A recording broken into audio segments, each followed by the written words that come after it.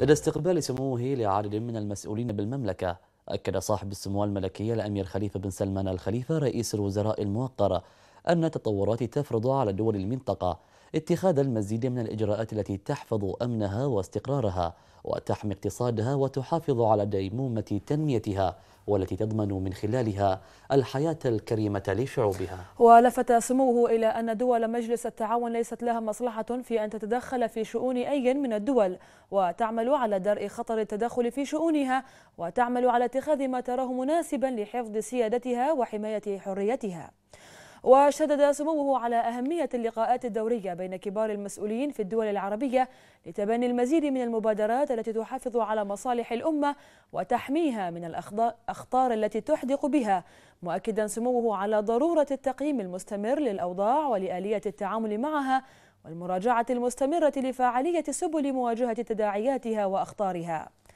هذا وكان صاحب السمو الملكي رئيس الوزراء الموقر قد استقبل بقصر القضيبية صباح اليوم عددا من كبار المسؤولين بالمملكة والنخب الفكرية والثقافية والصحفية. وقال سموه إن مملكة البحرين كبيرة بتوجهاتها وبحرصها على الدفع بمسيرتها نحو المزيد من التطوير والتحديث الذي يحقق الغايات والأهداف التي تسعى إليها الحكومة من أجل الوطن والمواطن ولن تثنيها عن التنمية تلك التوجهات التي تحاول إشغالها بالأمن عن الأهداف التنموية. وأضاف سموه لن ينجح من يحاول أن يجعل اليوم كالأمس فيما مرت به البحرين من أحداث تستهدف الفتنة والفوضى وشق الصف. والحكومة حريصة على اتخاذ كافة الإجراءات التي تضمن الحفاظ على الأمن والاستقرار. وأكد صاحب السمو الملكي رئيس الوزراء أن كرامة المواطن محفوظة وأن حقوقه مصانة وهو مبدأ جبلنا عليه قبل أن تشرعه المواثيق والمعاهدات. فشغلنا الشاغل هو توفير مقومات الحياة الكريمة للمواطنين. لافتا سموه إلى ضرورة توحيد الكلمة والمواقف لحماية الوطن وضمان استمرارية نهضته وتقدمه.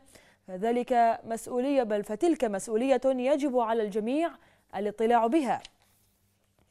وقال سموه إن الثقة والولاء والحب للوطن واجب مقدس يفرضه الدين والمسؤولية الوطنية وإن حب هذا الشعب لوطنه متجذر وله دلالاته في تاريخنا الوطني وفي حاضرنا المزدهر.